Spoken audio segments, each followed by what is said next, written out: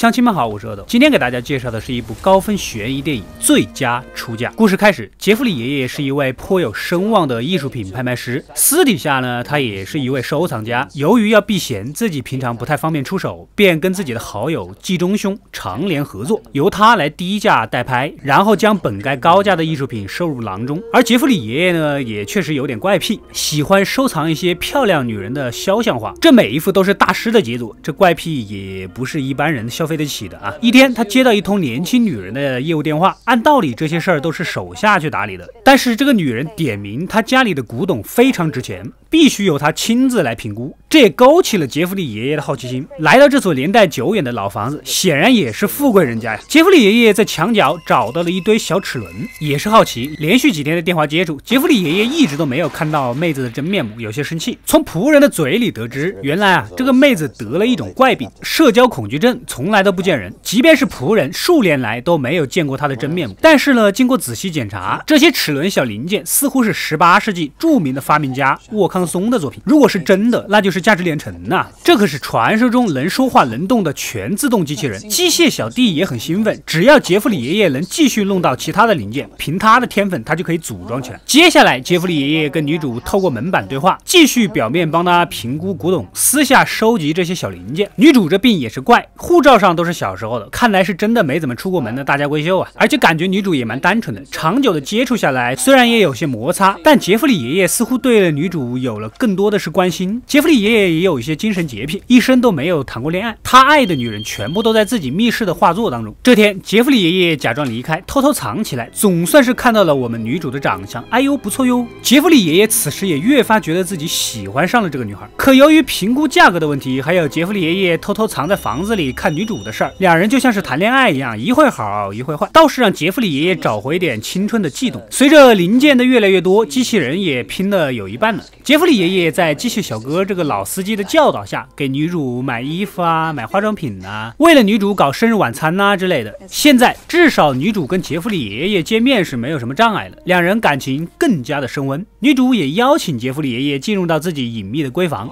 里面竟然有机器人的外壳部件。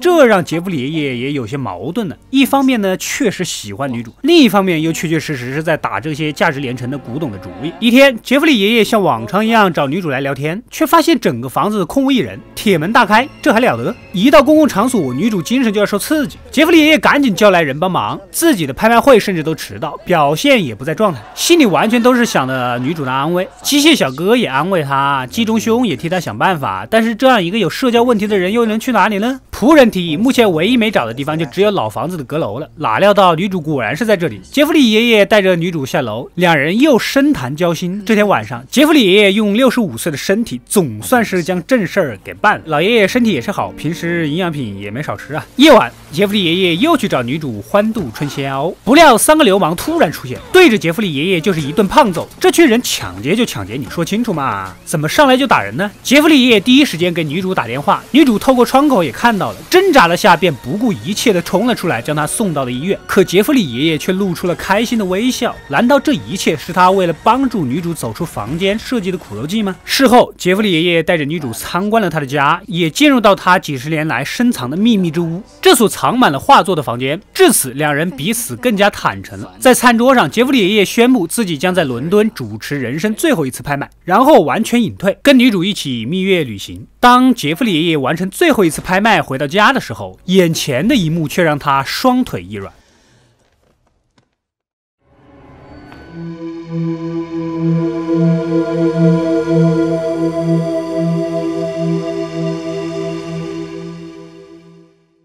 他毕生收集的杰作全部被搬空，一副都不剩。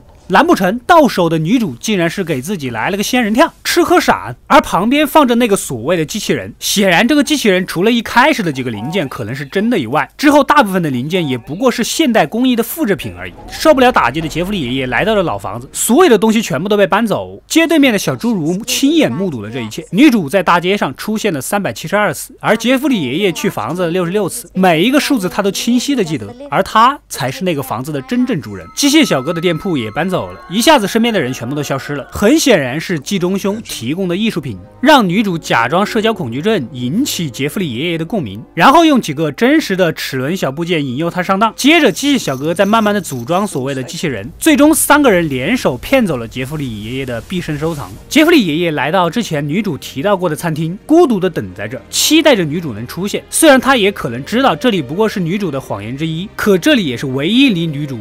最近的位置。好了，故事到这里就结束了。其实看到这里，我觉得我倒是有点同情杰弗里爷爷。虽然一开始接触女主的目的并不单纯，但最终更多的是对女主的那份爱情吧。这份爱情对他来说来的有点迟，而且最后还是一个精心布局的骗局。但最后老爷爷坐在女主曾经提到过的餐厅，孤独的等待。我相信他早已经不再关心他的那些画作了，他更多的可能是想再见到女主而已。如果你们有更多的想法，可以留言告诉我。快快订阅及关注《恶斗过来了》，获取更多的。电影推荐，我们下下期再见。